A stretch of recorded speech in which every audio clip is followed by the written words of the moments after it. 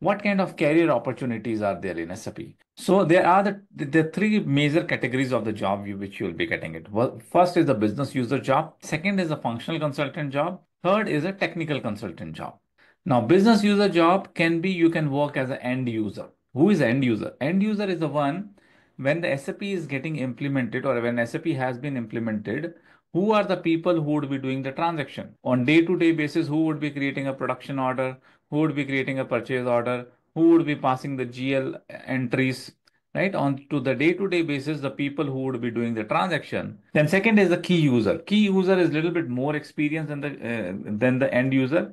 Key user and the business analyst is in the same terminology right?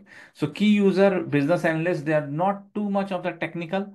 They don't know the configuration part of the SAP, but they know a little bit more deeper part of the SAP. Apart from the transactional processes, they also know the master data, the key settings which can be maintained into the master data.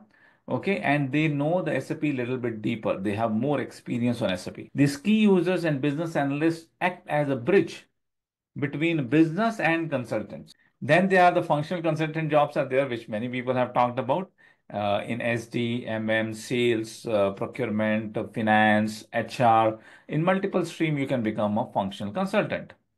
Then we also have a technical consultants. If you want to go into the coding, you can become a technical consultant. You can learn a modules in this area. You can learn a module like ABAP. You can learn a module like Basis.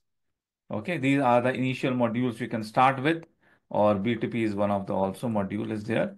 These kind of modules you can learn it to become a technical consultants, right? For functional consultant, the modules are like ST, MM, PP, FICO, and HR or hashtag I will put success factor. These are the core modules I talk. There are so many modules, yeah, it's widely spread it. But if somebody wants to start the career, until unless the specific operation experience is there, these are the good core modules to start your, your learning journey with.